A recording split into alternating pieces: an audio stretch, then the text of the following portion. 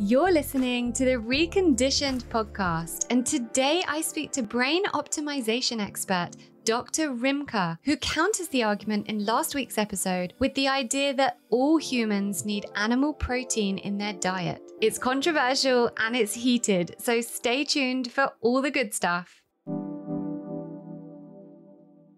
Your personality creates your personal reality. Authentic power is when your personality comes to serve the energy of your soul. The truth is, the body is one ecosystem. You can get to the root cause and everything goes away. Welcome to the Recondition podcast, where I use my knowledge and expertise of over a decade in the wellness and transformation world to take a deep dive into what makes us thrive as humans. I'm Lauren Vaknine, leading wellness and transformation coach, and following my remission from the rheumatoid arthritis I'd had for 27 years that left me wheelchair bound by the age of 18, I created a unique coaching combination conflating physical, mental, emotional, and spiritual aspects of self to create true, long lasting well being in all senses of the word. This podcast is one of the many free resources I've created to help you achieve the same. Whether you're suffering from chronic illness, raising children in a world of conflicting information, you're an entrepreneur wanting to step into your purpose, or you simply want to feel empowered and motivated to become the best version of yourself, join me along with expert guests as we uncover the most actionable and tangible ways to recondition ourselves back to wellness.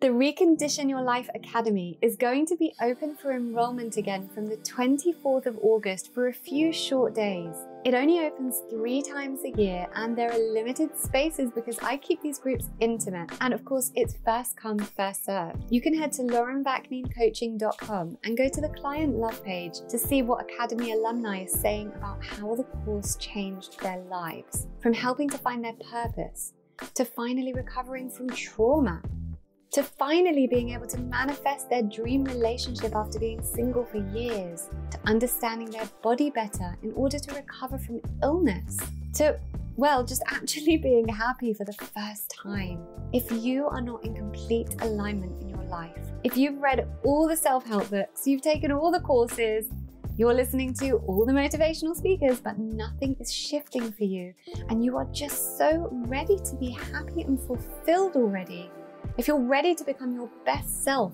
and start manifesting into your life everything you dream of, the Recondition Your Life Academy is for you.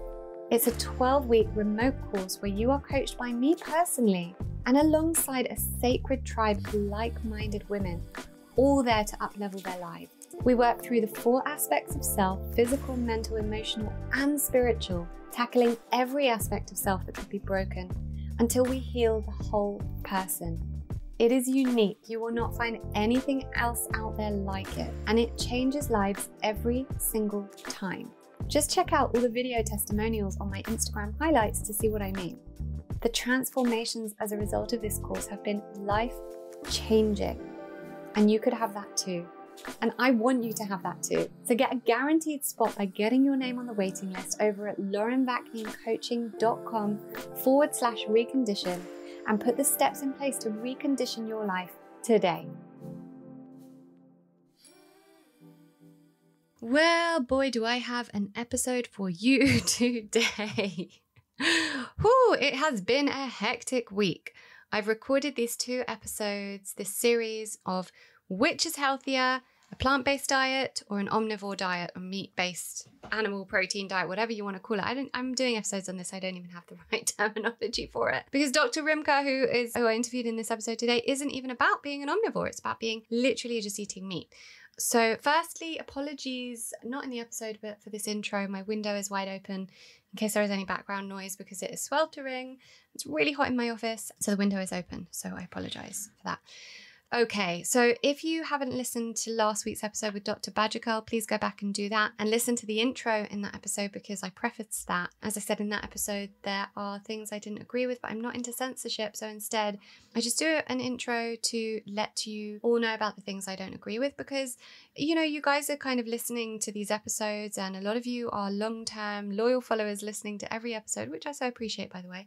And, you know, there are often things that will be said that you guys will get back to me and say, yeah, I did this, I implemented this. So if it's something I don't agree with, I feel a duty to let you know where I'm coming from, and you guys can make up your own minds. But if it's something about health that I feel I've done a lot of research on and doesn't sit right with me, I feel the need to say that, which I did in the last episode. This particular episode with Dr. Rimka, nothing in terms of stuff that I have been researching for years in science and things I vehemently disagree with at all just things that I thought were just just didn't sit well with me necessarily, like really eating all meat and hardly any plants at all. I love Dr. Rimka. I think she's great. She's hilarious. She's a real character and I just get on really well with her. And she's living a very specific kind of life, but then so am I. So who am I to judge? So I wanted to kind of do this intro to give my conclusion on at the end of doing these two episodes they really drained me. It took a lot of energy out of me, I've got to say, doing these two episodes because it took a lot of research.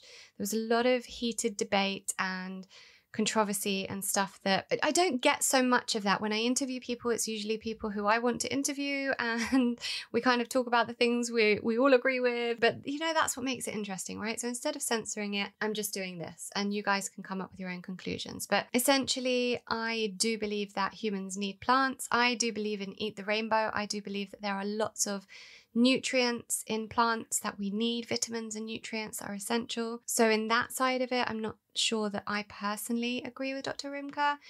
From my kind of coming up to two decades of research in the natural health world, it always came back to me that it was an individualized approach was what worked. In my own journey, in my clients' journeys, generally in life, you know, you look at your genetics, read up on your own genetics, get a genetic workup, look at your bloods. What does your body respond to? Even if it's not to do with tests, what does your body respond to and not respond to? You know, because I mean, Dr. Rimka said something interesting, which was that her small little dog, I can't remember the breed, she said, let's just go with like a Maltese. My tiny Maltese is more similar to a huge Mastiff than it is to a cat the same size as it in terms of the species. And we need to eat species appropriate diets. And so she believes that species appropriate diet for humans is meat, wherever you're coming from. So, based on my own journey of just kind of this being such a journey for me, being vegetarian for ethical reasons, really feeling strongly about being, being vegetarian for ethical reasons, and then no matter what I try with every practitioner, from the, my homeopath to my functional medicine doctor to my acupuncturist to my shaman, being led back to meat, and then my genetics and my blood workups all saying the same. I've had to succumb to the fact that my body actually needs this and I feel better on it. So I get very good quality, organic, pasture reared, grass fed meat from a local farm that I source myself, and I won't eat meat anywhere else unless I've sourced it, or if it's someone like me whose house I'm going to, and I, I know that I can trust them. Obviously, the ethical side of it is still there for me. Although, as we heard with Dr. Bajekal last week saying about uh, eating non organic soya, and Dr. Rimka talking about how rainforests are being chopped down to grow GMO soya. So, you know, there is really nuance in this, guys. And I think we can tend to look at one side. But what I wanted to do here was is one really healthier than the other? You know, let's put the ethics aside for a moment, not because we should put ethics aside because it's a huge point, but just in order to get to the bottom of this argument, which is hard to do if the ethics side of it is there put the ethics aside just to see is one or other really healthier. And my conclusion from doing these two episodes and then sitting with it for a few days before recording these intros is that I don't think so. I think there's nuance to it, and I think it's an individualized approach. And that is my personal conclusion. Other people will come up with their own conclusions. I might get a lot of backlash from the vegan community here. This isn't to offend anyone, and I have lots of vegan friends. Much love to you all. This is just my journey and what I have come to after many years of working on my health. I'm very conscious about everything that goes in my body. So balance that against you know eating vegan burgers that are processed and i don't know you know whatever. Like everything that goes in my body is a whole food down to what i cook my food on that they're non-toxic pans. I'm conscious about everything that goes on in my body. So i think that there's something to be said for that as well. And i think there's something to be said also for having an emotion around food. So if you truly believe and there is a real, you know, hurt in you at the thought of eating meat, you will ingest that energy as you're eating, and the meat might not be healthy for you, even if, you know, there is some scientific evidence to show that we benefit from some small amounts of organic animal protein. So, like I said, lots of nuance to it. It's not black and white. That's my conclusion that it's an individualized approach. By that, I don't mean, oh, well, I like eating meat, so I'm just going to eat meat all day, every day, or I'm going to go out and buy whatever meat. No, be conscious about the meat you're eating if you're eating meat. If you are eating animals, be conscious about that and do that in the most humane, most conscious way that is possible to do that. Equally, if you are eating plants and you are not eating meat, maybe have some empathy for people who feel that their bodies need meat for whatever reason you know, in the way that I do. It has not been an easy journey. I'm not just like, oh yeah, I like meat. It's not like that at all. It's having been on and off vegetarian for so long and for whatever reason being needed to be led back to meat each time. And so that's where I'm at. So I just wanted to preface all that so that you know where I'm at with all of this.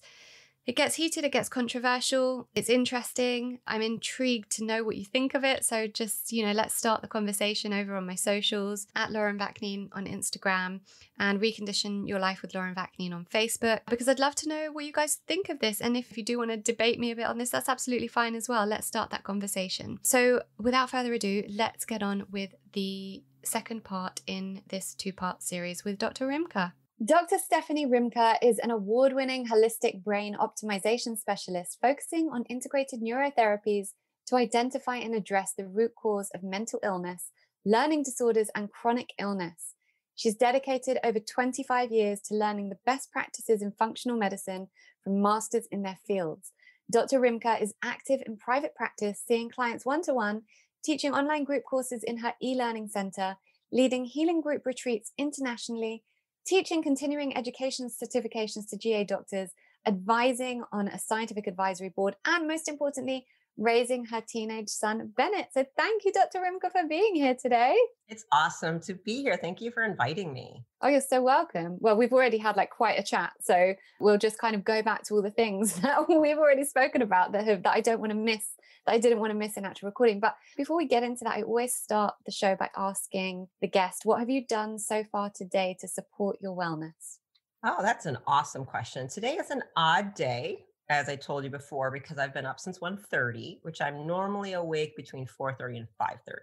So, because I was awake, and I think it's the energetic solar eclipse, we happen to be June 10th, and there's going to be uh, a solar eclipse, and there's a lot of galactic energies that come in, and we are affected by these things. So, I think I was just a little bit like that. But so far today, I have I'm on a meditation pause. So I normally would have said I meditated, but I'm taking a break. Interesting. Can you explain that? Uh, just sometimes I have a voice that tells me to stop.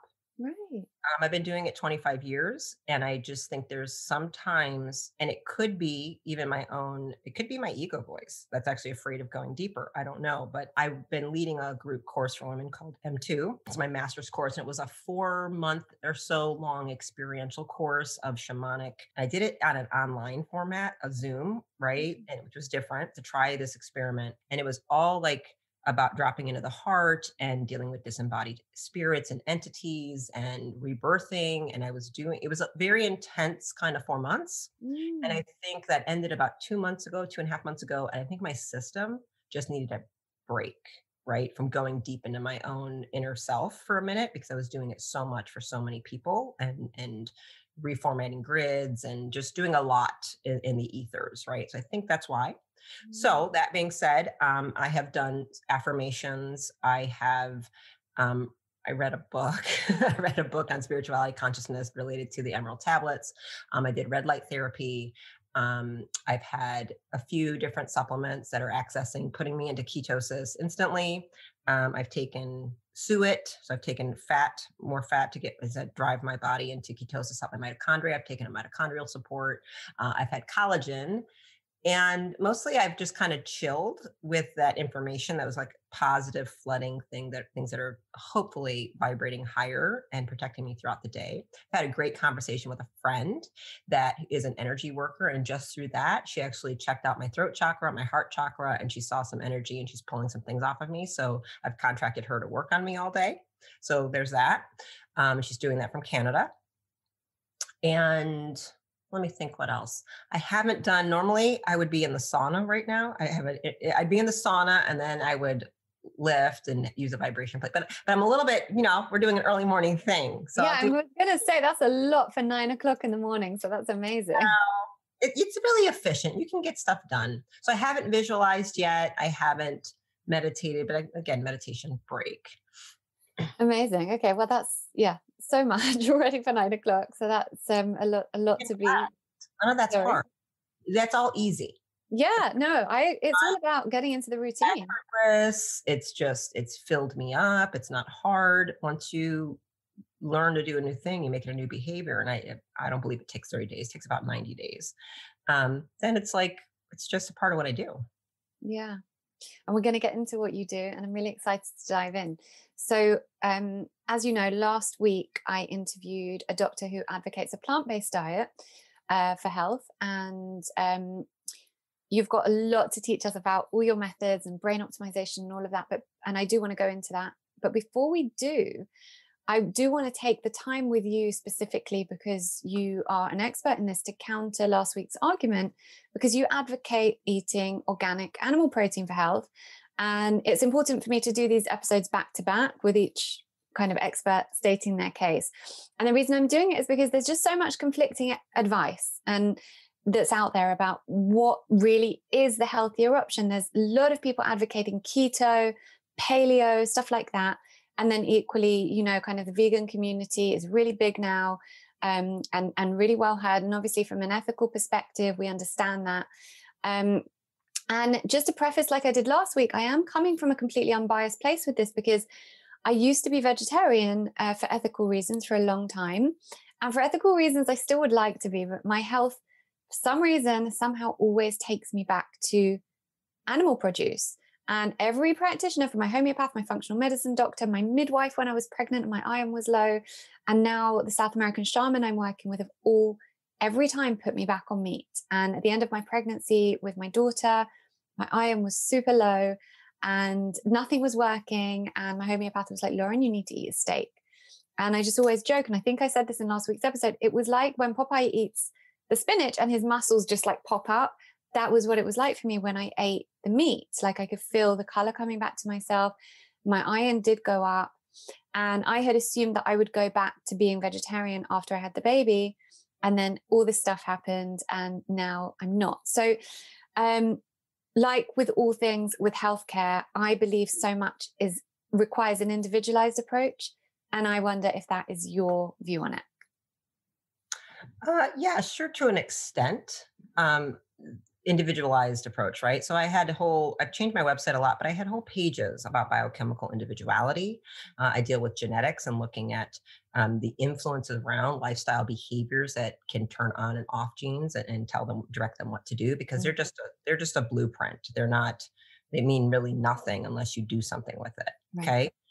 Um, so biochemical individuality is real, but to a point. I think actually sometimes it gets said so much. At the end of the day, we're all human beings. We're Homo sapiens sapien. And just like uh, there's, I have a dog, I have a pet dog, right? He's only a 19 pound Yorkie poo, but he's still a dog. He's more similar to a 200 pound Mastiff than he is to a cat, right? Because they're in the same species. They're different sizes, a little bit different breed, a little bit different whatever. But at the end of the day, even though my dog's gastrointestinal tract is smaller than the Mastiff's, it's really exactly the same. Mm-hmm. So they need the same basic way of eating because they're the same species. They have different colors, they have different kind of skin, different, you know, fur texture, but it's the same basic thing. So we have some nuances, whether we come from equatorial African countries or we're from Siberia or Nordic, right? Because we all look a little bit different. And East Asian, if an alien flew down here and landed in China, and then they flew over to India, and then they flew over to Sweden, they might think they're on different planets mm. because the people do look pretty different, actually, right? Mm-hmm. Kind of like a mastiff and a bulldog and a chihuahua look very different, yet we know they're the same thing. All right. So let me just say that we're human. If you are of the species Homo sapien, where we are today, there aren't that many differences, to be honest. And I think sometimes we keep using this diff. Oh, we're all so different. Eh, no, we're not. We're not. We have the same emotional needs, psychological needs, and same food and dietary needs for the most part. You have a few, you know, we all have about 100,000 SNPs in us, which are what we would say mutations, 100,000, right? Those variants might mean you might need three times more zinc than I need, but I still need a certain amount of zinc, mm-hmm. right? You might need a lot more B3 and B6 than me because of these uh, ethnic variations, but you know that that's usually handled in the local environment.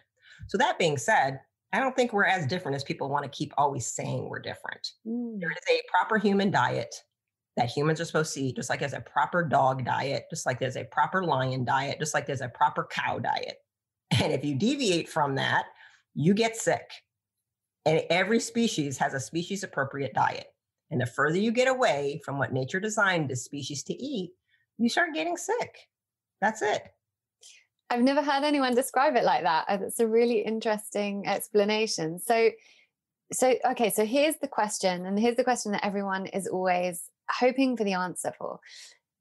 Mm-hmm. Were we really designed to eat meat, or were we designed to eat plants? Because the Weston A. Price, you know, ancient traditions, uh, uh, nourishing traditions camp will say we have always eaten meat. We were created to eat meat. And the plant based camp will say, no, we were eating plants way before we were eating meat what were we designed for as Homo sapiens? Uh, Homo the sapiens. evidence is very clear. There is no getting around it. I was a vegetarian for 14 years, 12 of which I was a vegan. There is tremendous misinformation, myths, and lies that perpetuate the scientific literature, ranging from the cholesterol studies of Ancel Keys to all kinds of nonsense that has come down. So you've got to really look behind well, what does the study say? If you just look to nature and you look to what we've discovered about what actually is, so you can go backwards and look at anthropology. And the anthropological evidence is overwhelmingly clear. And this is what I could not deny any longer as a vegetarian. Overwhelmingly, animal based. We absolutely, the further back you go, the more animal based it is. 90 to 100% of in, people 100,000 years ago and longer, they, they, ate nothing but animals. That's what they ate. Then you can look at uh, G, um, uh, geographical information and understanding the weather and what the earth looked like because it didn't look like this 11,000 years ago. It didn't look like this 40,000 years ago. We've had different ice ages and you look at what the planet was really like and the availability of plants and it's actually insane that anybody would consider that that's how humans were living it wasn't even around you know so if you go to alaska or you go to siberia look at how those people are living what are they eating 90 to 100% animal based because there are no plants growing in the tundra you know what i mean it's it's not there they never need it, and yet they're never deficient in anything. They're never sick with anything. There's no heart disease. There's no cancer. There's no diabetes. They live long. There's no brittle bones. There's no sarcopenia. Hmm. There's no obesity. Hmm. Okay. Like, so there's that piece of information that you cannot get away from. Then, if you just come to today and you look at any culture of Homo sapien human beings living in nature, without technology, without electricity, without grocery stores and refrigerators. What are they all doing? They're all predominantly animal based. 75 to 100% of their diets are based on nose to tail eating an animal. Every single one of them. There is no natural vegetarian or vegan society ever in the history of the United of, of the world. It's all been created because of religion. Mm. period. The data is, if they don't want to believe that, they're delusional and choosing to see oh, the cognitive dissonance is so strong, their bias won't allow them to see something, which I totally understand. Cognitive dissonance and bias against information is so strong. I've actually had situations, and I have deep compassion because I understand it now, where a child will tell their mother, Daddy is raping me.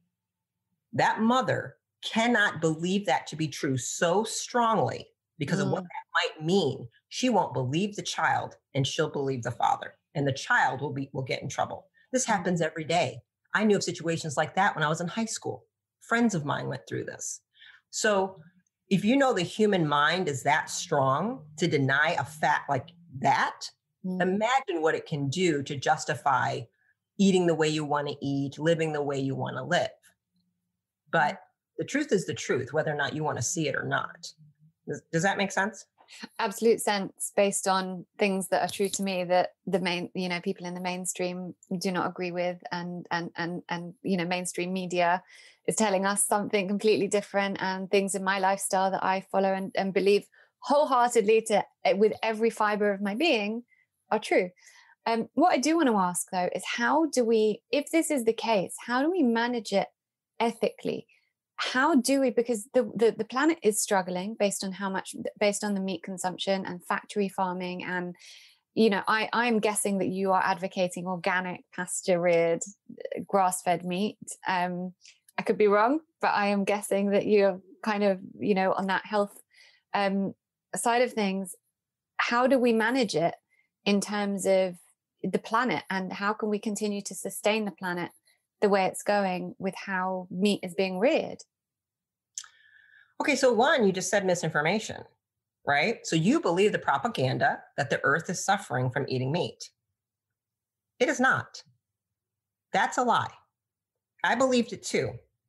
So right there, you have to we have to really question why do you believe that? What where's the data supporting that? Well, I'm because I'm gonna I'm gonna interrupt you because it, I have seen animals kept in dire conditions and those animals should right so, so that is that's suffering. that. that that's not the same as the planet can't sustain it environmentally. That's not the same thing. Suffering right two separate things. Okay yeah, two separate things. same thing. We have to so you can't conflate that information. Not the same thing. So farming in any sort is not the thing destroying the planet and that's the lie we keep wanting to tell ourselves to justify our addiction to comfort and technology. You want to change what the planet looks like? Stop your addictions to technology. Stop your addictions to central heat and air. Stop your addictions to gasoline and fracking and everything else and flying in planes. Stop traveling. Right? We've seen what has happened in the last 18 months by the by the decrease in traveling and planes and jets and cars and everybody having me stuck and quarantined and locked down. And I'm not advocating for any of that, but there's been a massive explosion in regrowth in, in places in the world. There's been a mm-hmm. massive change in the particulate matter in the air, the pollution, you know, huge change just because of the behaviors we choose. The actual contribution of what farm, farming does is about 1% of the environmental impact compared to what the manufacturing. You know what the kind of how many factories, how many chemicals, how many trucks, how many how much gas, petrol, ships, freight trains, jets it takes to get a fake burger in a, in a thousand grocery stores? It takes a lot. I eat roughly a cow a year. One cow sustains my life all year long. Mm.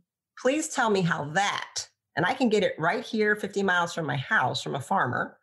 I can buy a whole cow, put it in my freezer, wrapped in paper, no plastic. It's only the gas to my car to go get it. Okay, so let's let's be real clear on, on that. These are not the same thing. And then in addition, the most potent sequestration sequestration um, thing that, that we have on Earth is the soil. The soil takes the carbon dioxide and all the other gases in the air and helps recycle them, right? And what does that? Animals that walk across it, trampling their feet, pooping on it, creating an incredible environment in the soil and in the grass for the snakes and the rats and the bugs and the rabbits and the squirrels, and everybody lives in wonderful harmony, feeding each other. That's what's actually going on when you eat this way as a human. Humans had no problem. The earth was not struggling when, when people were following a bunch of cattle around and killing mammoths and everything else. Not a not a thing where we where was the earth struggling. She could breathe just fine. Okay, it's very very different to say these two things the same. Now, you know, take uh, the, it comes down to living connected to nature Mm. Having a bunch of animals packed in disgusting environments, not allowed to walk on grass, be in sun, you know, eat what they're supposed to eat, a species appropriate diet, uh, having, to, you know, like, I mean, that's that's the sickness I said. I said, when you start making things far away from nature, everything gets sick. So, of course, the planet's getting sick from that. Monocrop uh, farming is doing that. You know, cutting down an entire forest to plant corn, to plant soy. That's what's happening in the Amazon. They're not cutting it down for beef, they're cutting it down for soy. And the lie that keeps getting told in the media is telling you something else to keep distract you and keep having you buy your canola oil and your soybean oil and your fast food products that are using all that crap. That's destroying the planet, but it's making them a ton of money. So these aren't the same things. Now, suffering and cruelty and all of that, that's where you have your ethical issue. Nobody wants that. But I had a moment in Brazil, and this will always stick with me, and it changed my life when I was on a mission trip there as a vegetarian. And people were feeding us. The, they're missionaries. We were there for 10, 12 days, something like that. Doctors. It was 20 group of 21 doctors serving, you know, people. It was in an incredibly poor area. We're going and, and you know, I would see two, 300 patients a day. It was just, we were like machines, 12, 13 hours on our feet. And a family would host us for lunch. Okay. We were in a church. And you know, the first meal you would see, you come in, and I'm talking poor, you know, poor in ways, poverty, you know, third world nations, the level of discrepancy. And, you know, we're coming in looking at this like, uh, I was a group of four doctors in my pod where we were, and we eyes big, looking at each other like, I, I mean, I don't want to eat. Is this all their food? Like, I mean, I don't like this is like a feast. It looked like Thanksgiving, you know, or Christmas for us and they were so poor. We were, it was like a, you know, 10 people living in like two rooms. I, I, we felt guilty. We didn't know what to do. Then we also, you see, it's a, it, there's meat, there's a bunch of meat and stuff.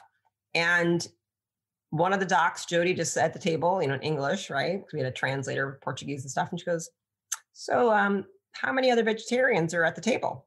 And the other doctor, Skylar, goes, well, I'm not today. And I said, yep, me either right? So of the four of us, three of us were vegetarians. This was 20 years ago. And we were like, oh boy. And I remember I asked for a minute, you know, because I was very sensitive. I didn't wear leather belts, leather shoes. I was very, very intense. My whole wedding was catered vegan. Two restaurants brought it in out of state. and I was very intense. And I started, I went into the bathroom to like wash my hands. And I mean, I was tearing up and I like prayed, like, what am I supposed to do?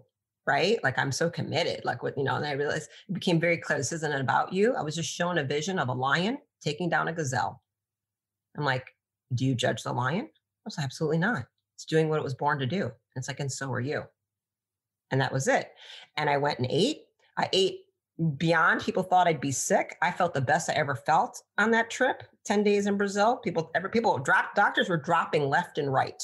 I felt amazing. I was, I was going, I was actually the only student allowed to go with 20 practicing doctors. So I wasn't even used to seeing this many patients, right? I was very new. And I it's one of those moments I, I came back and I still became a vegetarian. I still kept doing what I was doing. But every time I went on a mission trip, Brazil, Mexico, Costa Rica, I would eat meat and I would feel amazing because I'm like, well, they're giving it to me. I mean, I went and I went full hog, ice cream, like screw it. I'm gonna eat everything. You know?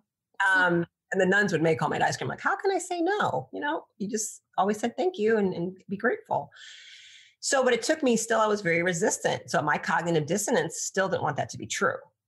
Right. So that's that's the reality of of it's very, very different. I'm like, I don't judge them for it. So I had to start going, why are we putting so much judgment and shame on ourselves with being who we are? When did we get tricked into being human and living like a human was a shameful, horrible thing? Like, why is it shameful to show your breasts? Why is it shameful to see naked people? Because, you know, I remember, I don't know how old you are, but National Geographic, those magazines, and women with their little spears and all their little, their get up, you know, there's all kinds of body parts exposed.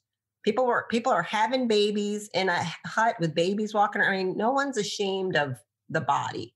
And we, we, we altered um, and brought a lot of shame and covering and, and decided things were dirty that were natural. And you really have to start going back. So, wow, what kind of games were played on me? What did I believe that these books were telling me about where I came from and who I am? So, I I really understand now by studying uh, tribes that I consider sacred by looking at the Native American, the Aborigines, um, different uh, Peruvian, you know, shamanistic and cultures in Mexico. And I've been to these sites of Chichen Itza and pyramids and stuff. And when you really delve into it and you look at it, you're like, well, they all did it. And then, you know what I mean? And and understanding and getting connected to it, I really can understand the circle of life now, the transmutation of energy. Everything is giving life to take care of life. And then we have these amazing bugs of bacteria and fungi and stuff that clean up all the dead for us and put it right back into the earth so it can all be full of so like i'm my minerals uh, my body's going to go right back into the earth and replenish it so the cow can eat the, the, the grasses has good topsoil so the cow can eat it so somebody else can eat the cow you know what i mean? So the the, the you know the gazelle eats the grass so like the lion can eat it you know and nobody takes what they don't need in excess. That is a natural order of things going away from nature and going to factories and factory farming and manufactured pro- products that go in boxes and cans and, and plastic, that always leads to overconsumption. That is the burden on the earth. Right. So, of course, I want people to support local farmers and especially ones who are trying regenerative farming. It is incredibly expensive for that farmer. There's very low profit in meat. Uh, there's incredible profit in seed oils and grains. I mean, the profit on a box of cereal is insane. We all understand the profit on alcohol is insane. You know, it's pennies to make the stuff and you can charge whatever you want. Cereal is the same way. You can't charge high profit on meat. It, it comes out of the reach of people. So that's the that's the lie people are trying to say, like, ooh, big beef is they're like everybody, all these farmers are so wealthy. Um, no, it's not how it works go to a local farmer and, and see if they've got Bentleys and yachts in their driveway. They don't. But the owners and, and the profit holders of Beyond Burger do. They sure do. They're driving Bentleys and Ferraris and have yachts. So, so it is about, and then you are advocating kind of a local organic farming, like you say, regenerative farming, and that's the way forward. The term organic is actually, you know, that's a it's a corporate term. Most farmers can't afford the fees to become certified and organic. Right. Yeah, you've got and that's the thing. Our, we we use a farmer who doesn't have the certified he doesn't pay for the certified uh, stamp um, but we know that the, the, the meat is organic in terms of. I mean, he even regenerated the soil that his land is on in order to make sure that what the cows were eating and the animals were eating was like pure grass. You know, totally. You know, with all the minerals it needs, not this kind of. And he he actually said that what he had realized was after the war, the Second World War, so much, so many of the bombs and, and kind of everything that was in the air after that had really damaged the soil. So he in his land, he totally regenerated the soil. So for me, and and you know the cows are outside and they're roaming and the chickens are roaming and everything that's organic farming. That's what i mean by organic so natural. It's really yeah. just i mean and his soil i guarantee you isn't what it was 100 years ago no yeah. matter what it did because mm-hmm. there's glyphosate everywhere. I mean it's on the majority of the planets in the air. Yeah. so even when people are thinking oh it's organic you're still getting pesticides and poisons you guys. It's in the rain so it's always best to go as far away from that as you possibly can. And any farmer who knows what they're doing knows they're better off without chemicals and killing everything. You, mm. you're not doing that, you that's what glyphosate is designed to kill life in the soil. That's its job, right? So then they have to use fake seeds and genetic modification to try and make it grow. Then they have to put all this extra stuff in there to make it grow because you've killed everything. So that's what people are eating when they eat plant based, by the way. It's all genetically modified. It's all poisoned. Well, what if they're buying organic plants, organic matter. fruits and vegetables? coming from seeds that have been altered. What you get in a store today, that stuff is not ever seen in nature. What a blueberry, a grape, a banana, a lettuce looks like in a store, that's all been created artificially to look pretty, change colors, and add sugar content. None of those things are wild. None of those things were somebody eating 10,000 years ago. They're a completely different thing. That's the that's the facts and the lies that people don't know. They think, oh, but it's growing, it's natural. No, it's not. That banana doesn't look it up. Start going to a search engine like DuckDuckGo and say, you know, wild primal fruit and look at what they look like and look at the sugar content. Compare a watermelon from 5,000 years ago to a watermelon today. They don't look, taste anything the same. So, what content of of plants do you eat? So, how when your diet specifically for you, what is uh, do you eat? How much how much vegetables and fruits are you eating? I mean, is that really relevant? What I eat, right? Because me doesn't make any difference for anybody else. I'm interested in terms of the the the, the kind of the amount of meat you're eating um it's kind of like what's on your plate you know like do you are you still eating? So what i eat, like for people who are interested in approach. well i get it people are interested. I kind of hate the question because what i eat or what supplements i take doesn't matter.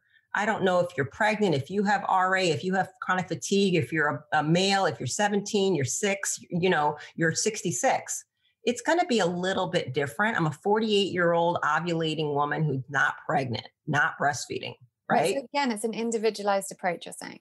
To a, to a degree, right? This is what it comes down to.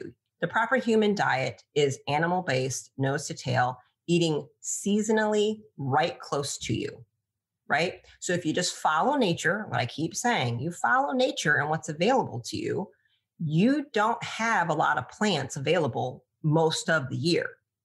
If it's growing in a greenhouse, you shouldn't be eating it. If it's hydroponic, you shouldn't be eating. Those are stressed out plants, by the way. You talk about suffering, hydroponic tomatoes are suffering. That's not normal.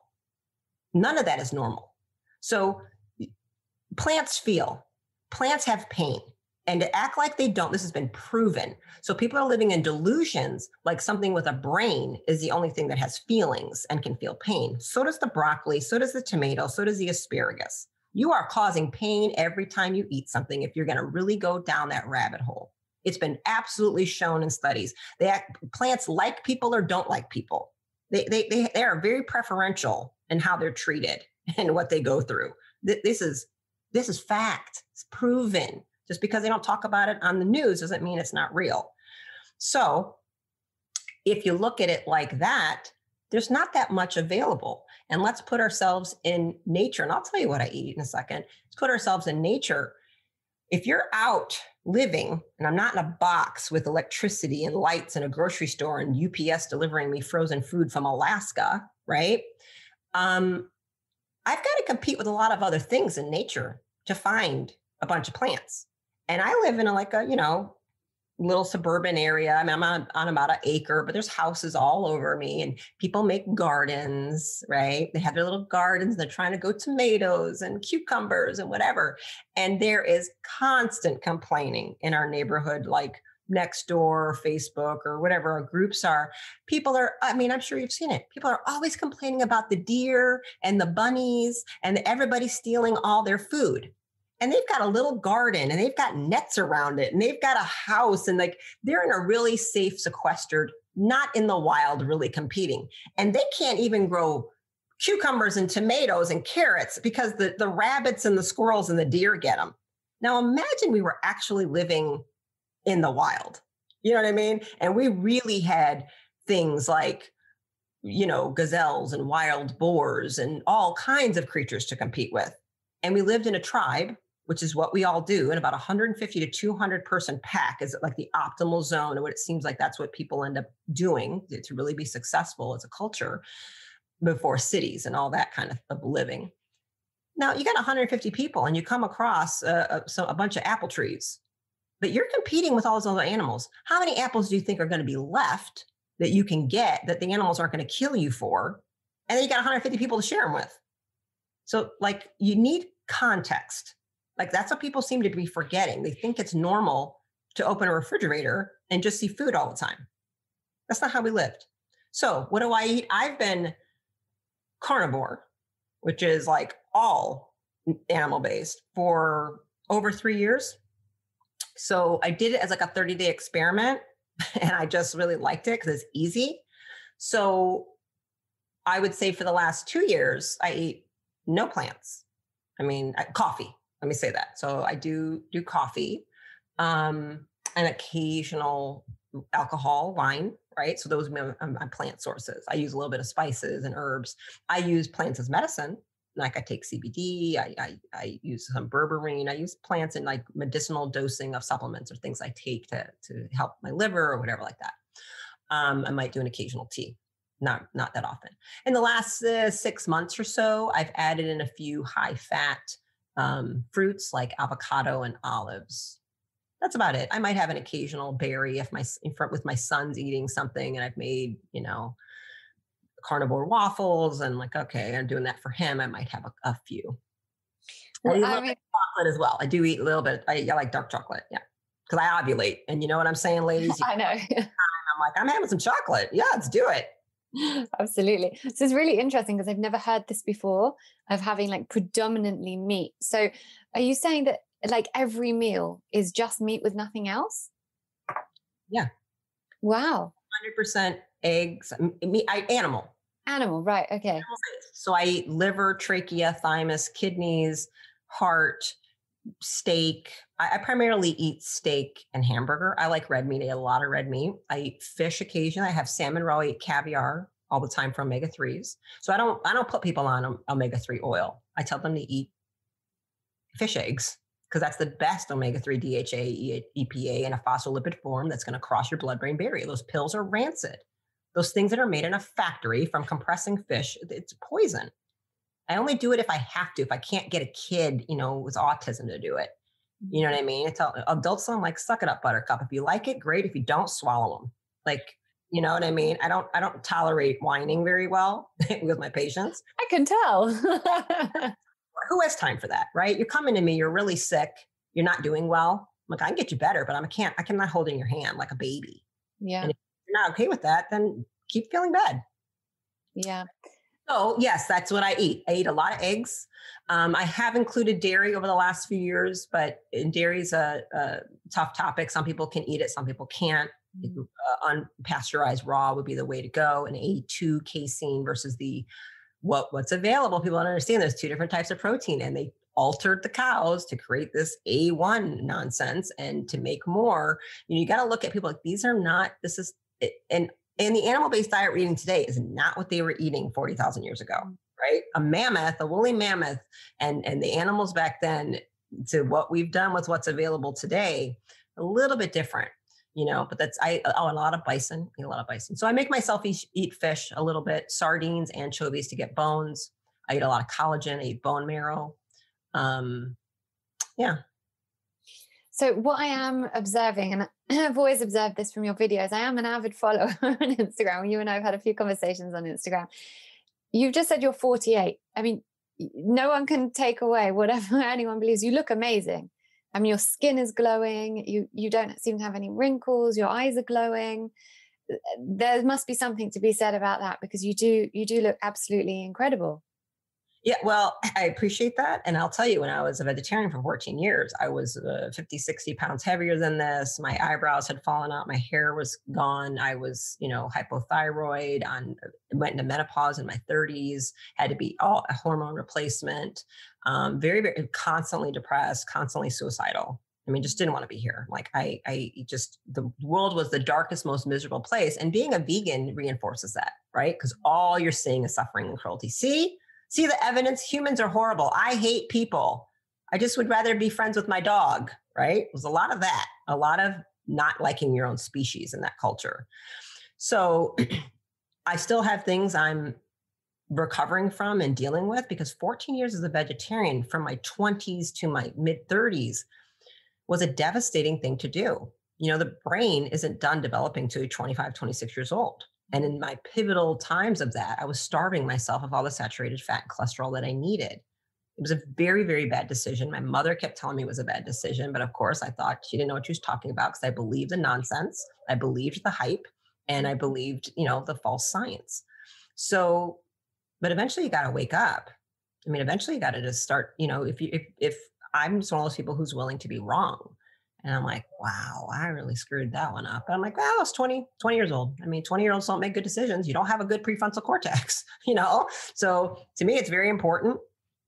you know, to keep guiding them. I, I treat patients that are under 25 as pediatric patients. And I tell them, I'm going not to insult you, but you're only 21 to me. So you're not done yet.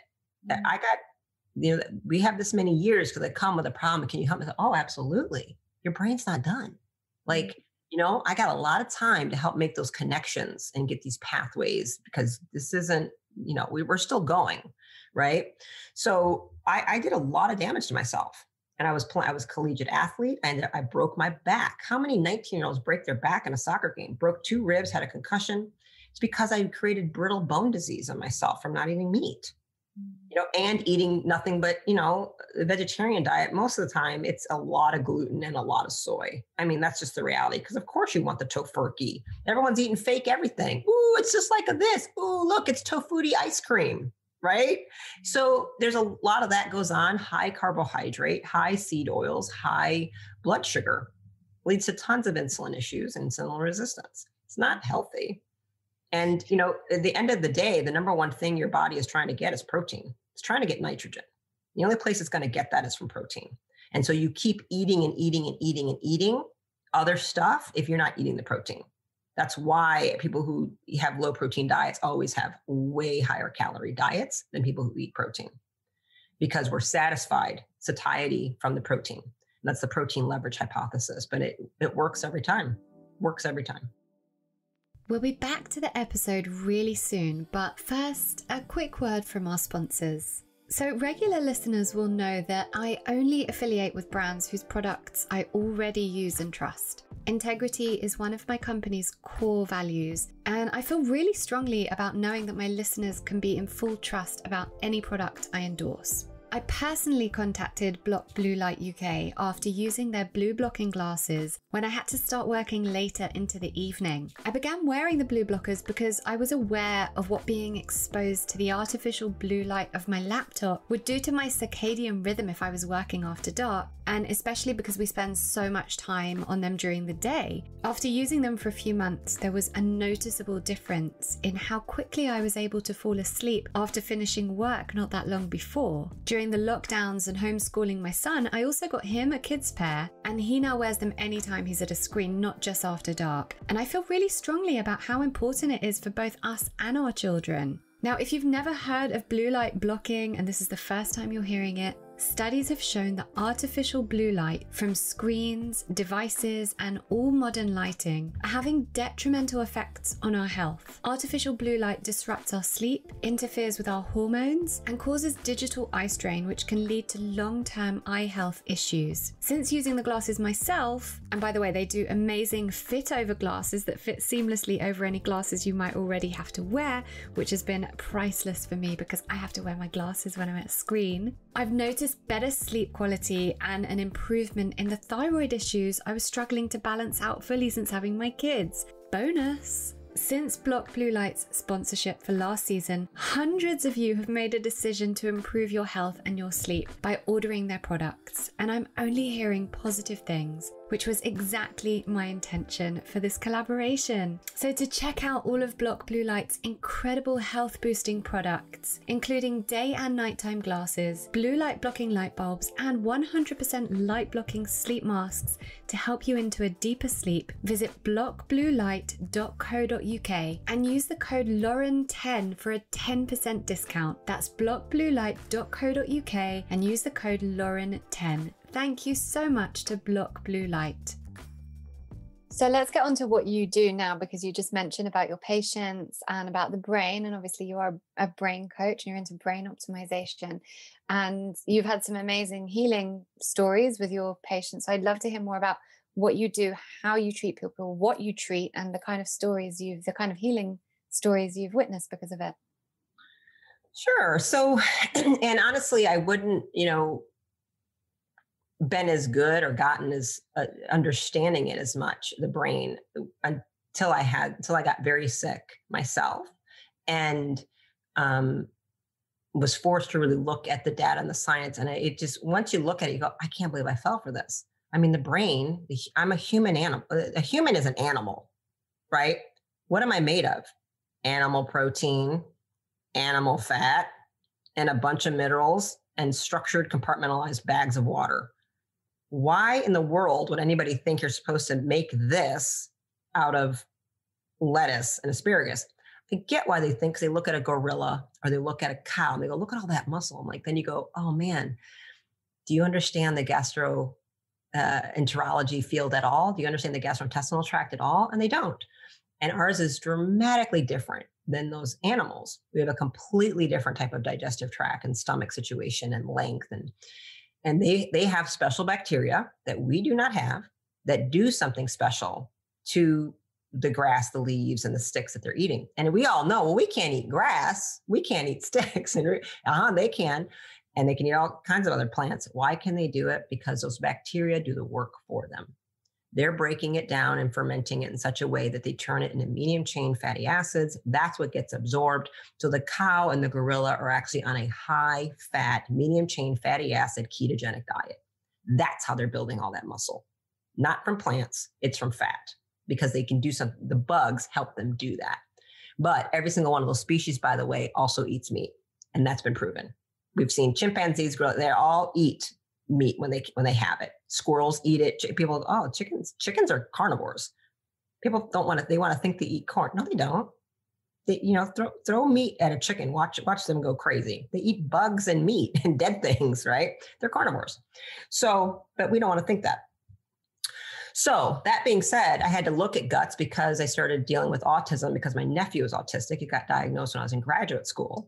And I had to, you know, when you go down the autism route, you're going to lead to Dan Doctors and the GAPS diet by Dr. Natasha Campbell McBride. And you have to look at the gut brain connection more. You have to look at the parasympathetic, sympathetic. So I just became more and more impressed and kind of obsessed with that.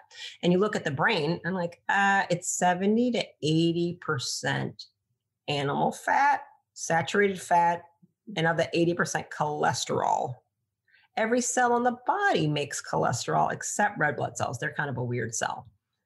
Um, hmm, that's interesting. Every cell membrane is cholesterol. Every hormone is made from cholesterol. Every, everything is cholesterol. So really, when you go, all right, we have bones, minerals, all these minerals that you, you know, where you get, oh, you know, the best place to get minerals for your bones is. What do you think? The, ble- the best place to get minerals for your bones. Your bones, like to have strong bones, right? Because our bones are minerals. Right.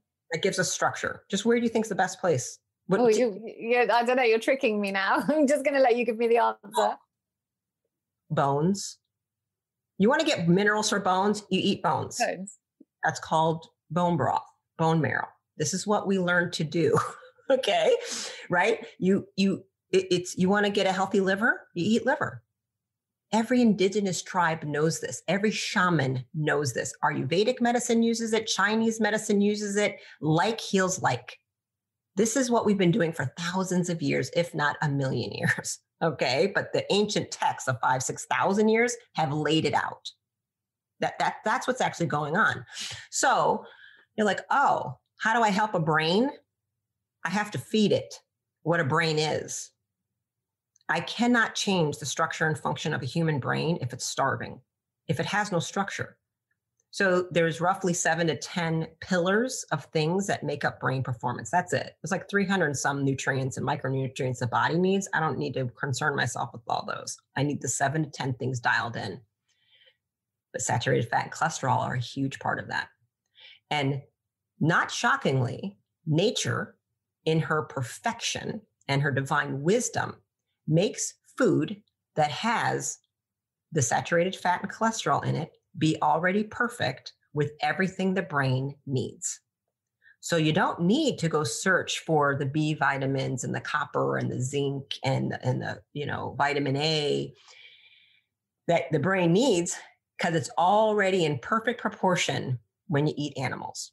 The perfect and that, that proteins are complete. Plant proteins are called incomplete. They don't have all the amino acids you need, but animals do. They have uh, uh, choline, they have all of these brain things, cholesterol that you cannot get in plants.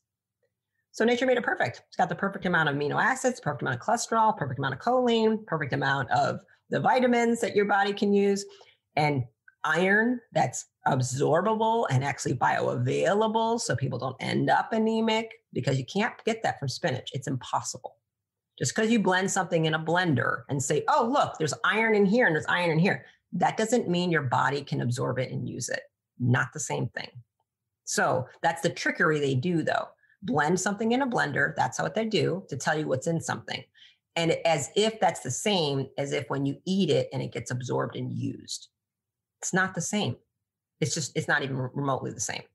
So I start with uh, foundations of rebuilding them. And I made a decision about three, four years ago. I no longer will accept vegans unless they're willing to change because I can't, I'm not wasting their time or money. And because what I do, that would be like me training an anorexic for a marathon. So neurofeedback is I read uh, brainwave activities uh, called e- a QEEG, and I'm looking at elect- electrical brainwaves, uh, delta, theta, alpha, beta, gamma, and I'm looking at uh, parts of the brain that are active, overactive, underactive, right? Waking things up, quieting things down, creating highways and networks again so the brain can talk to itself better. I basically hold a mirror up to the brain and I say, This is what you're doing. And it's able to self correct how it's putting on its own lipstick. And putting on its lipstick might be how to sleep, how to calm down, how to meditate, how to focus in class, right? How not to have panics, how not to have a seizure, right? Those are the things that we train the brain to do with neurofeedback.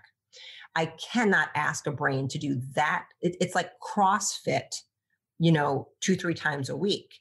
How dare I do that to a starved, anorexic, malnourished brain?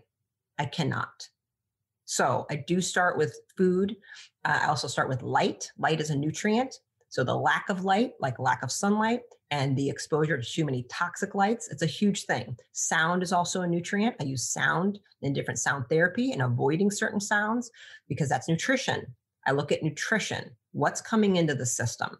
That's food, light, sound, magnetism. I deal with magnets. The earth is giving off magnetic pulses. People aren't connected to it anymore. So they're, they're starving from magnetic field penetration but they're poisoned by the magnetic fields coming off their phone and their and their computers right? So that's a, a, big part of what i do. So i deal with changing the way people hear things with sound therapies. I deal with bone conduction therapies. I deal with uh, electrical stimulation across the brain or into the body um, uh, neurofeedback biofeedback a whole bunch of things. And so i typically adhd autism ptsd uh, suicidal ideation seizures stroke traumatic brain injury, things like that are, are my wheelhouse.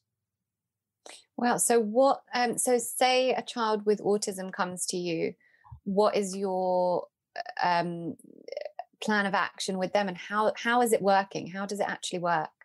Okay, well, autism. You pick a big one. Uh, that is, we have a saying. Um, my mentor, who trained me in neurofeedback, Dr. Richard Soutar, psychologist here in Atlanta, he said, "Well, we have a saying, you know, in autism, if you've seen one autistic brain, you've seen one autistic brain. That's it, because they're so unique and so different. Yes, there are patterns and phenotypes, and there are things that are very similar that we have to be aware of, but each case is incredibly unique. So, we're going to do a lot of testing, a lot of cognitive performance testing, do brain imaging, do testing of sound, how sound is going into the ears, auditory processing, things like that. Uh, gut testing, um, brain chemical neurotransmitters and definitely methylation. So these are, uh, you got to see the picture before you start, right? And then you look at what the family's doing and where are they? Where where is this kid? Is this kid, you know, high functioning or are we nonverbal and smearing feces on the wall? Right? It, where, where we start and what we do all depend uh, upon that. So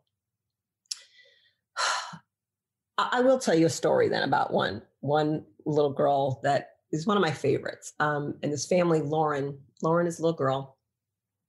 Her mom and dad came, and um, and I'm very blessed because the majority of time with my patients, I have both parents show up, and that's not very common in the autism community. Divorce rates are through the roof. Uh, mm. you have a lot of of one spouse can't handle it right? It's very, very stressful. It's a very, very hard thing for families to deal with. Like people want to always see the feel good story on the news about the kid who made the basket. That's great, but that's not the majority of what goes on. You know, this is a very, very hard, complex uh, family systems thing to address.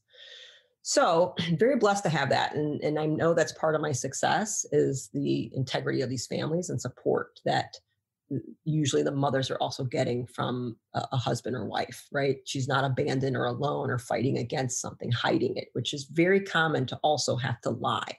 Mothers are literally lying and going to holistic practitioners to get help under the radar of not telling their husband, which is tragic. So, that being said, she came. The mom is a PhD psychologist. She's a school psychologist. I forget what the oh, dad was retired military. That's right. He was honorably discharged, injury. I remember, God, I loved his family. Yeah, he had a limp. He was injured. So he was kind of the full time stay at home caregiver. Mom was a school psychologist. They'd done everything. Lauren was maybe seven or eight. Spoke about 20 words, I think. Um, very well behaved, um, you know, but would have her stimming kind of fits and ex, eh, difficult, but 20 words, right? So lots of stress and anxiety just getting her dressed for school. So she was in a public school that her mom actually worked at, was a school psychologist and was considered one of the best, you know, autism schools around, special programs, that kind of a thing, not mainstreamed. They went through the story. Of course, it was a vaccine injury. I said, "But do we know what happened?" And they were like, "Oh." And that dad told that chilling story, you know, with with the combination of tears and rage in his eyes, because I remember the, the, exact moment. I can tell you exactly what happened. So, mm-hmm. so again, I've heard that a thousand times. So anybody trying to say that's not true, I mean, unless you've been in practice and seen this, you should shut your mouth, right? I, I don't have a lot of respect for people with opinions and I've never done it. It's disrespectful to those families and these children. Um, so it tells her, I'm like, okay. And I kind of don't remember exactly what it is they were coming for, right? Like what it, I think maybe it might have just been to help her. We want to make her, the, her life as best as we can, like whatever. I, I don't remember, right? A few years ago.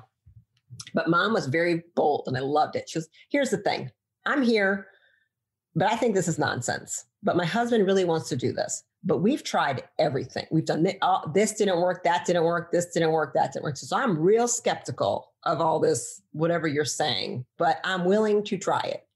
Okay. You know, Candace, I love her. I was like, okay, as long as you're, willing, I'm open. But like, I'm going to say, I'm, I'm the skeptical one. He's all in, but you're to have to prove it okay. I, I I remember some point we were open six, seven days a week. I would work on Saturdays because of children need to come in three times a week. So we really want to make this as easy as possible for families. Um, and I would rotate my Saturdays with my staff. And I was in there on a Saturday and they came in. And I did all the QEEGs, we did all the stuff they were already on point with the diet. They were pretty good. Most people in the autism community already are at least gluten free, dairy free, soy free. That's a bare minimum. These children cannot eat these foods. If you're listening to this and you don't already know this, I don't care if your pediatrician doesn't understand this or they say it doesn't matter, they're wrong. The most important book a family with autism can get is the GAPS diet, Dr. Natasha Campbell McBride the Russians in that whole area, they figured this out. They've been using carnivore for a very long time to heal mental illnesses, by the way. So, you know, that is a foundational place I get people to. So I think I upgraded them a little bit, added a few things, did a little bit of a nuance. I adjusted her. She didn't been adjusted. I'm a chiropractor. So I did start actually hands on helping her once a week, changing her nervous system that way. Um, but I didn't need to do a ton. I added a few higher nutrients. I did a little bit of fermented vegetables. I did get, you know, a little bit more bone broth, a little bit of things, tweaked away a little bit of sugar, got rid of a little bit of convenient foods, taught them to get a crock pot, did some basics like, yeah, you guys, that's good. They, okay. They're like, yeah, I need you to remind me. I'm like, okay. And we just did neurofeedback. And she played computer games basically with her brain. And we slowly watched and tracked the words, and they just got more and more and more. And we eventually got to the point like, okay, Lauren, you've got to come back here. If you want that video, I need to hear you say the words. And she would start with things like kitty cat, kitty cat, kitty cat. And she would repeat, she would stem echolalia.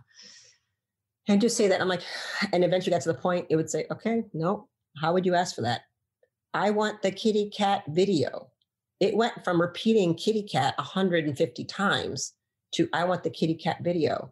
The wow. mom and dad would come in and, and, told the story, like just about like again, lo- being able to put on shoes and a shirt and brush her teeth and come down ready to breakfast when they watched it one day without them saying anything. Like if you're not a parent that doesn't go through this, you don't understand what just happened. Mm. And they would have constant things like her words. Like, I mean, she has, you know, years later, I came to speak to their school. She's hundreds, thousands. I was like, oh my gosh, it's like they actually have her in. Now, she's still autistic, right? She's in a mainstream class though with an eight. That's an extremely different case.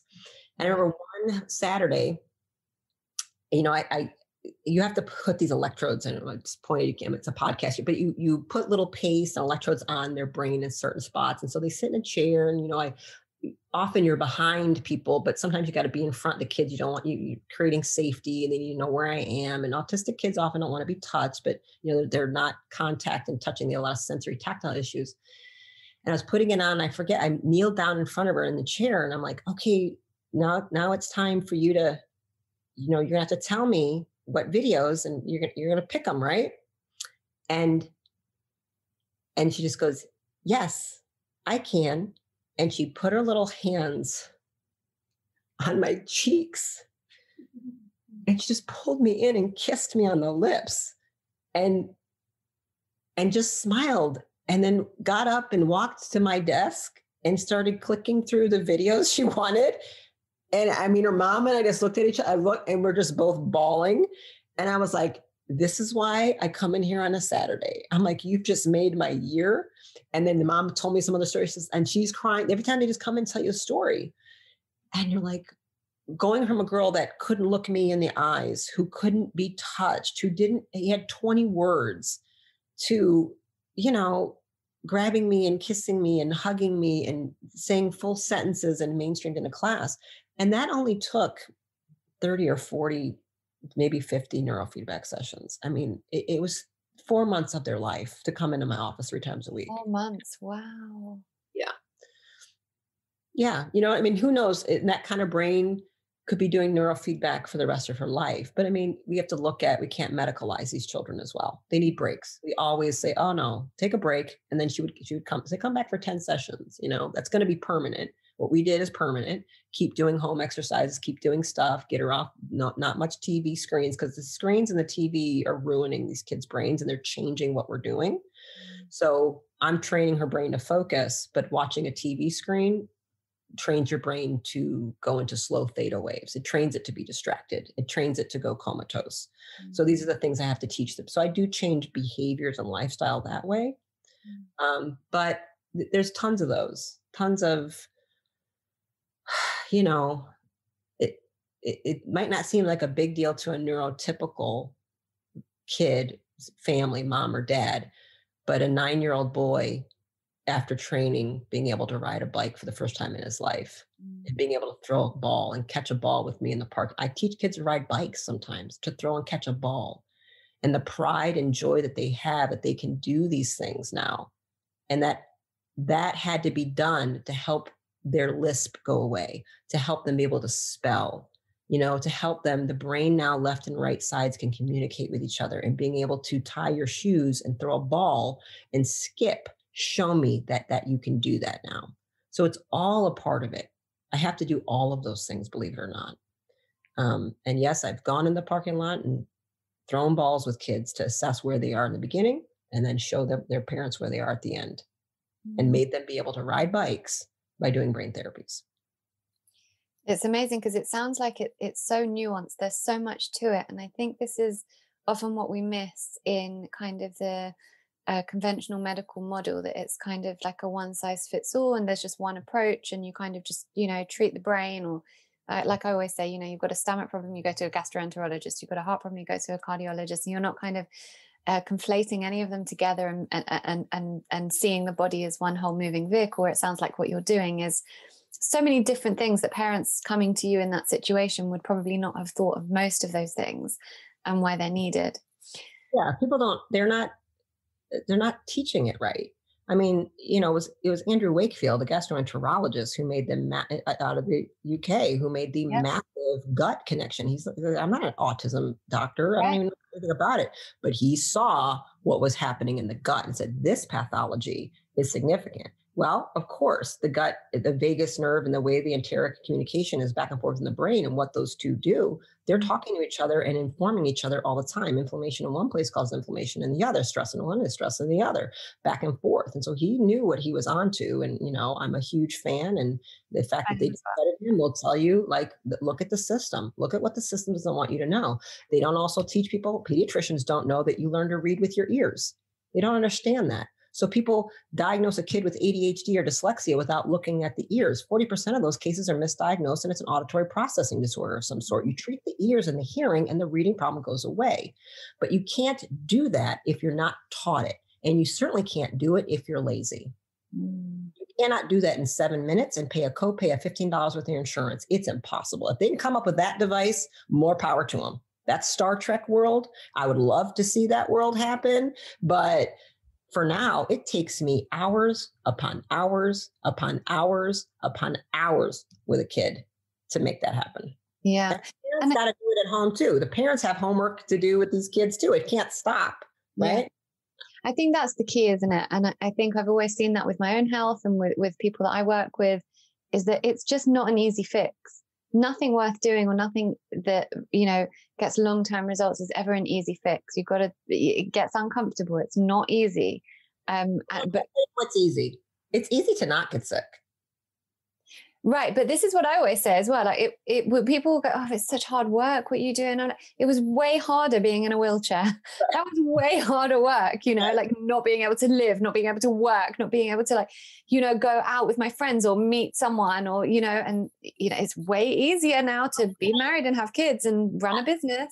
tell you, if I take you away, if I took you and your family and you lived with the Hadza tribe in Africa for a year, your life would be, it would be easy for you. You wouldn't be carting around a bunch of supplements. You wouldn't be going doing a bunch of therapies. You're not working anymore. You're not running a business. You're not tied into a centralized government, a centralized financial system that's a lie.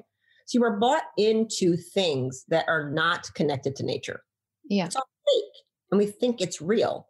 What's hard is living disconnected from nature. Yeah. But we've become addicted to technology and comfort and institutions and centralized money, the fiat system, e- education, these big bureaucratic things. We think that's normal. That's what makes you sick.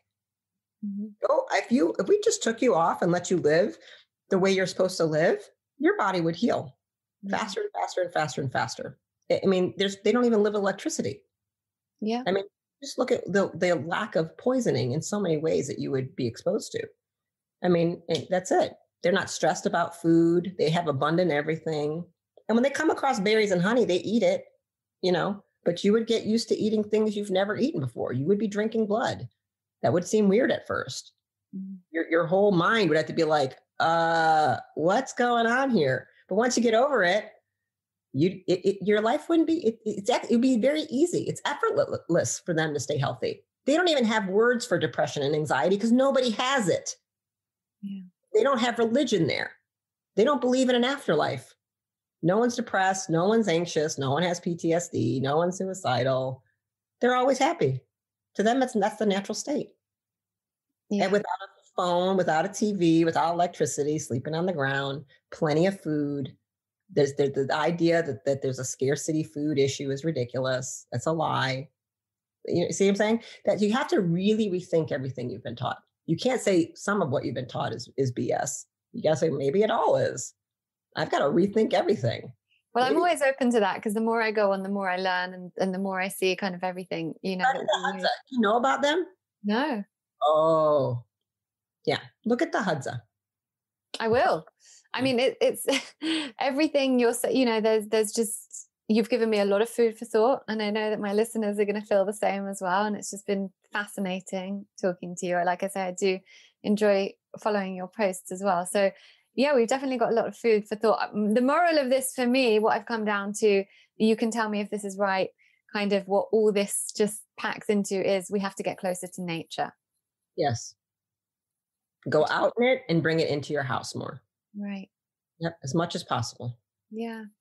That just kind of always seems to be what, what, uh, you know, the message that I'm always led back to that just seems kind of counterintuitive not to, and just seems kind, it's just logical.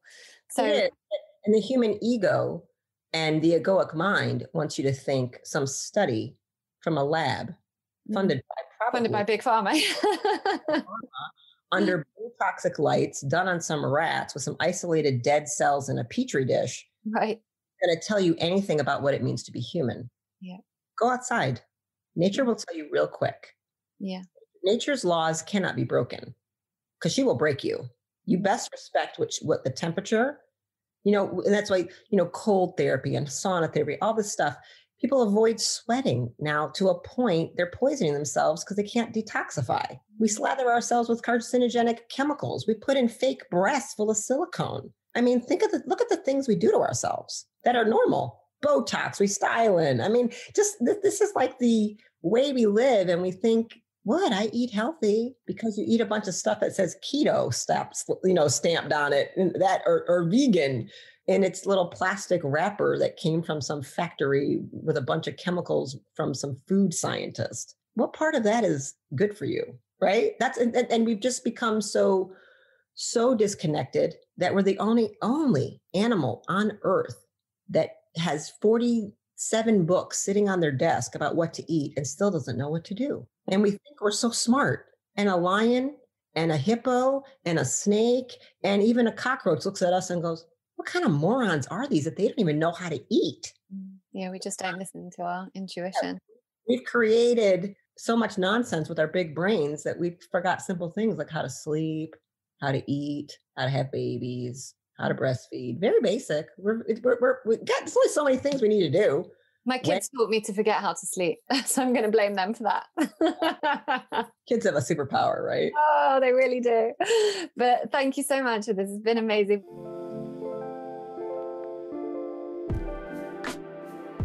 So we just end with my little segment called All About You, the five quick fire questions. I mean, I think we've got to know you quite well here, but this just is my little way of helping the listeners get to know the guests. So first one I always start with is wellness is fill in the blank. Oh, gosh, that's a weird one. Wellness is, it's weird. First thing that pops in my head is wellness is love. Okay, well, there we go. You're the first person that's ever said that's weird. I know, isn't that weird? In fact, you're the first person who said a lot of things to me today, but that's okay. um, if you could pass a law that everyone had to follow, what would it be? Oh wow, these are good. So um, not weird, just it's actually good. Good one. Wow, that's a lot. Wow, I would probably say yeah, something about like learning to love yourself through quiet meditation or something. And I, I wouldn't want to tell them how to do it. So probably, I don't know how you could pass a law to make sure people could love themselves and not speak so negatively to themselves, but something like that. It's a nice one. Definitely needed. I think you'll like this one. If you could raid one person's brain and retain all the information, who would it be? Wait, I could do what to that? You could raid one person's brain. Wow. All right. I would probably go with Thoth. Who's that? He's an Atlantean god, supposedly, who wrote the Emerald Tablets 36,000 years ago. You're definitely the first person who said that. Okay. um, what attracts you to people? Oh, man. You know, energy. I mean, you know, good energy. I mean, energy, you know, energy is real. You can feel it. You can tell who's the magnetism is going to draw you in. But if I had to say personalities, I do like, I like strong personalities. I like courage. I like fighters. I like an underdog. I like people who don't give up. So kind, loving, you know, that, that's always good. I don't really love a whiner. I, don't I don't have a lot of tolerance for it. You did mention the GAPS diet book before, but I'm wondering if that's it. The last one is a book that changed your life. Oh, wow. I mean, I am a book nut. I mean, I have a problem at times. I've had to stop myself at times. Me too. Can't keep buying like the amount of money. And my son has had the same problem. Like he just, and we never want to get rid of him. And, um, book that changed my life. God, there's so, so many. One of different times I've done different things. The mutant message from down under. That's incredible about a woman's journey into the Aboriginal out and out back experience, meet message was powerful for me. Oh, I'm gonna like not say all the ones. There's just just the, the, the one that changed your book the most, just the one. Should we, go with the mutant message? I wouldn't say that's the biggest one by any means. It's the first one that popped up, and I think because I talked about some of these tribal uh, cultures and nature and experience, and they were really they're they may be one of the last true human being tribes left on earth and we're destroying them they're almost died out it's unfortunate we're, we're we've gone in and just taken over their land and they can't do what they're supposed to do but they're highly psychic and connected and knowing things gosh you know i'm, I'm really not do you know what we can if if another well a good one primal body primal mind Nora Gedgaudas. That book probably describes what I do and practice the most. She's a neurofeedback therapist and nutritionist, Okay. very similar to me. That's a great book. But there's so many. There's, like always so many. Rumi, Rumi, a poem, a book of his was like potent. These love poems, like I read those every day for a while. So books are like really important to me. I, I typically, before I became a mother, I read five to seven books a week. Wow. Yeah. So I'm saying like to eh, say that I'd have to go to my book and oh right, this one, this one, this one. Yeah, yeah. Um, and depending on what, you know, thing, a Deepak book that I read on the beach in Costa Rica was actually really powerful. I mean, it's a little Yeah. bit of sellout now to me, but this book was like, wow. Meta Human's really good though. Which one was it? Meta Human, his most recent one. I didn't read. Eh, you know, I'm I'm I'm not a Deepak fan anymore. Okay. But well, listen, if you watch some of what he's, I think there's a little bit of whatever. I mean, unfortunately, but he was powerful to me back in the past. yeah. One of his books was really good. God, I'm sorry, I can't think of any. No, like- those were you've given me three. Tho- those are brilliant. But anyway, I'm conscious of we I've taken up too much of your time already. But um, thank you so much for being here. We're gonna link all your details in the show notes, but just uh, quickly tell people where they can follow you, where they can look you up. Sure. Yep. Just Dr. Rimka, drrimka.com, D R R I M K A. I'm the only one in the world. It's an incredibly rare name. Um, that'll take you to my main site. And then I have a e-learning center that if you click the courses button, I'll take you there. And I also run retreats. The next retreat I have coming up is a safari, a wilderness safari in South Africa. Wow. 2022 where we will be it's an eco safari so we're connected to nature but i give you beds you know we got beds a toilet you have a shower but there's no electricity Wow. Okay? It's open air open tent in a wild i mean there will be elephants and things will come through camp you know? We have armed guards protecting us right? You know we have we rangers will be there in case but you know eh, all safe. South africans know how to do safari and it's going to mm. be at the Karongwe camp conservation preserve but we will see all the things the lions and the cheetahs and the giraffes and everything private chefs everything handled. So I do that as well. Again, I have an e-learning center and I do take clients. So Dr. Rimka on Instagram, Dr. Rimka's Brain and Body Solutions. That's the name of my practice. I'm on Facebook.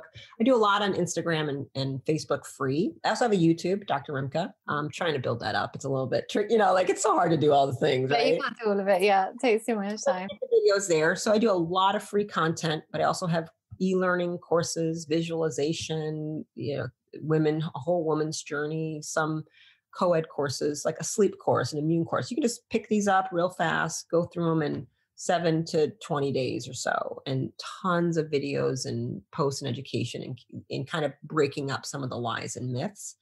Often the courses, I can say things that I can't say on the regular feed. Um, but my 3R, my M1 courses are like in the weight loss course. They're live with me. People have lives. You can do Q&A that way. You can do Zooms with me. It's a very affordable way to access me versus paying for one-on-one care. Some people need that, but this is a way in a group format you can get me for a fraction. You know, the, the cost of one of my courses is less than I cost per hour. You know what I mean? So it's it's a nice way to do it. Amazing. Awesome. Well, we'll definitely be sure to look that up. Thank you so much for being here. I have a lot to be uh, getting on with now and thinking about. So thank you. You're welcome. Thank you. This season of Reconditioned is sponsored by Block Blue Light, the world's leading supplier of blue and artificial light blocking products, including blue light glasses and blue blocking lighting solutions. Blue light blocking products aim to alleviate digital eye strain, improve sleep, and optimize health through mitigating the harmful effects of artificial light from screens and modern lighting. For a 10% discount across the range, visit blockbluelight.co.uk and enter the code Lauren10. Thank you to Block Blue Light. Thank you so much for choosing to listen to Recondition today. I'd be so grateful if you could subscribe and maybe even leave a review if you enjoyed this episode. And better still, if you could share with friends and family who could benefit from the content, that's what I'd really love. I just want us to share the love so that everyone can understand how to use an integrative approach to life and health. For more free resources, visit laurenvaknine.co.uk and laurenvakninecoaching.com.